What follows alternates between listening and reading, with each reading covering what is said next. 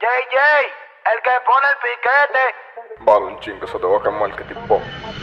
La chica se suelta así berrao